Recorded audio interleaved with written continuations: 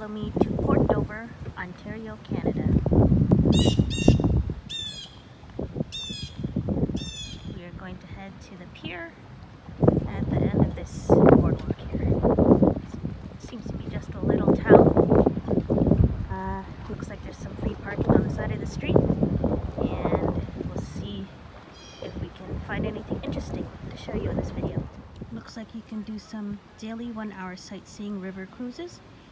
We are past 12 o'clock, so we didn't make it, but looks like you can do that here.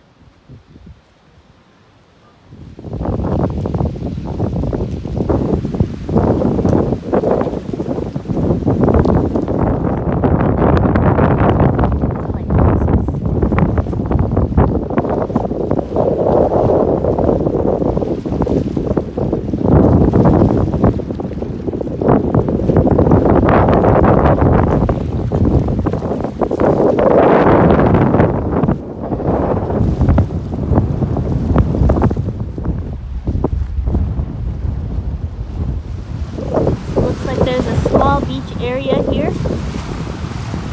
They've got some palm trees. I'm thinking it's probably more busy in the summer. But it's still nice. Looks tropical over here. Over on the end here, there's a bigger beach area. The sand is pretty nice.